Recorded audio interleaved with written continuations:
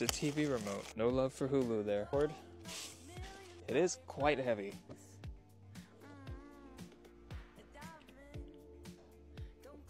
Turn. It is touchscreen. I can just comes with a bunch of apps already. It's clear. You can definitely see the pixels. I don't know that this work, but I can also add. That's cool. This needs to be more than 1080p. It does run off battery, but I have it charging. Then you have a USB, HDMI, headphone jack, and whether or not you want to use the battery.